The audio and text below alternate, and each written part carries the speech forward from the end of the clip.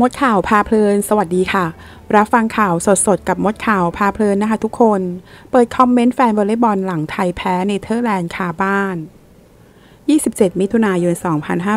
2566 ควันหลง การแข่งขันวอลเลย์บอลหญิงเนชั่นลีก 2023 สัปดาห์ที่ 3 นัดที่1นะ อินดอร์สเตเดียมหัวหมาก ซึ่งทีมชาติไทยแพ้ ทีมชาติเนเธอร์แลนด์ไป 0 ต่อ 3 เซต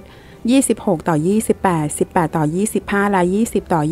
25 หลังจบเกมนะคะ แฟนวอลเลย์บอลออกมาคอมเมนต์มากมายในโลกโซเชียลพร้อมทั้งส่งสัญญาณเรียกร้อง ให้มีการเปลี่ยนแปลงหัวหน้าผู้ฝึกสอน รวมถึงวิจารณ์เรื่องมุมกล้องในการถ่ายทอดสดด้วยค่ะ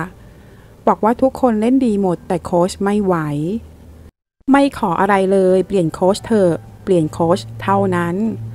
มีใครจะปกป้องโค้ชด่วนไหมคะ อยากฟังเหตุผล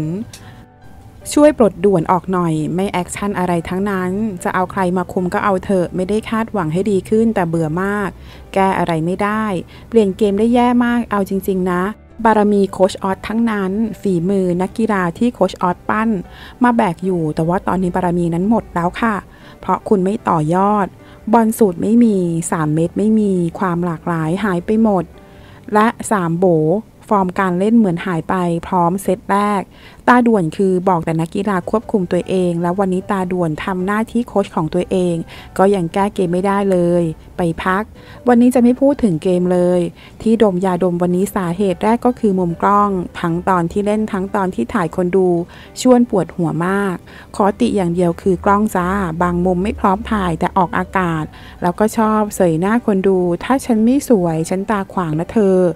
จะให้หลายมุมมาเข้าใจแต่บางทีคืองง ควรจะเปลี่ยนพร้อมโค้ชเลย คือตากล้อง งงมาก ขอขอบคุณข้อมูลจากสยามนิวค่ะ ถ้าเพื่อนๆชอบคลิปนี้ ฝากกดไลค์และกดกระดิ่งติดตาม เพื่อเป็นกำลังใจให้กับช่องมดข่าวพาเพลินด้วยนะคะ ขอบคุณค่ะ